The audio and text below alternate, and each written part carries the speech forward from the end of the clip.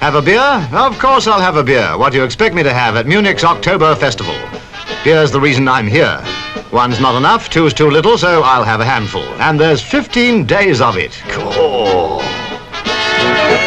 Me, I've got a bone to pick. Walk up, walk up. What, me go on that? Well, what have I got to lose? Only 15 pints?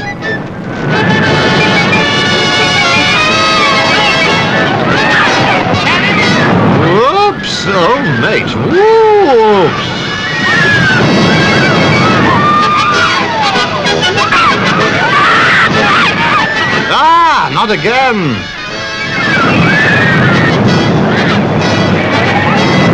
Well, if I live through this, it's a tribute to my digestion.